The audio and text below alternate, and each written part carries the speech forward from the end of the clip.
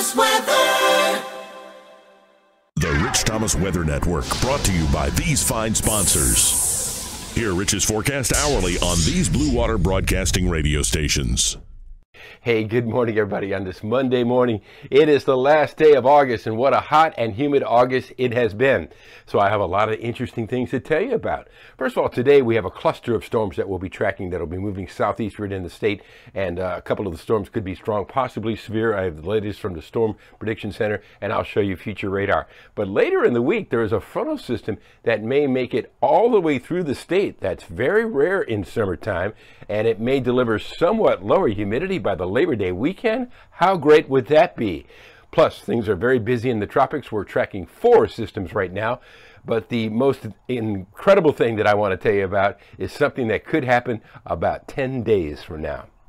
Boy, oh boy, this would be nice. The global models continue to hint that there will be an important cool front that moves through uh, our state and much of the uh, nation, uh, all the way to the East Coast by about the middle of next week, roughly 10 days now, with lower humidity and lower temperatures, including some very comfortable nights. Wouldn't that be great? We'll continue to keep an eye on it for you. Even the GFS is showing a big temperature drop around 10 or 11 days away with some nights uh, that could be in the 50s. That would be great. Again, don't take that to the bank yet, but it looks pretty good.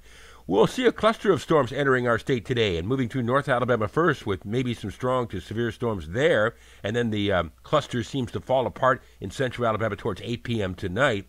In the meantime, even out ahead of that main cluster, there'll be some scattered showers and thunderstorms roaming around. So we'll put uh, scattered storms in the forecast for today. While the Storm Prediction Center has a marginal severe weather risk for our friends in North Alabama, uh, not quite down to the Montgomery area, but you can see that there could be a few warnings with that cluster of storms that I showed you. Scattered storms in our forecast today. High temperature up to about 92. Uh, maybe a couple of stronger storms towards this evening. Uh, tonight's low 76.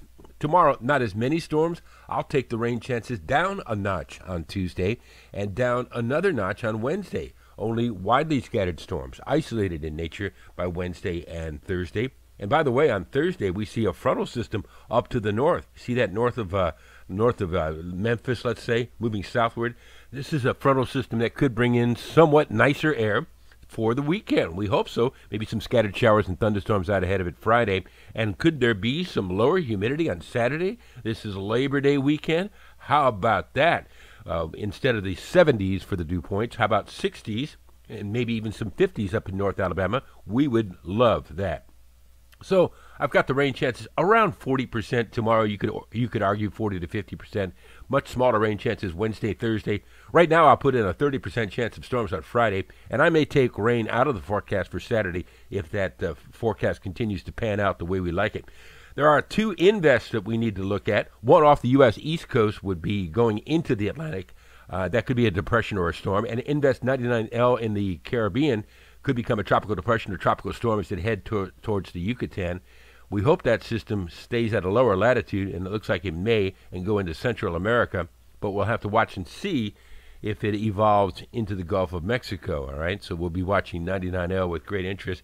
And meanwhile, the Hurricane Center continues to monitor two other systems way out there in the tropical Atlantic off the coast of Africa. So things are uh, very busy in the tropics. Remember, this, the statistical peak of the season is around September 10th. All right, so that's a lot of stuff, and some of it very, very good, some of it very encouraging. We'll keep an eye on the tropics as well. Live on the radio this morning from 6 to 9 on News Talk 93.1. Live on TV, we'll be on CBS 8 and ABC 32.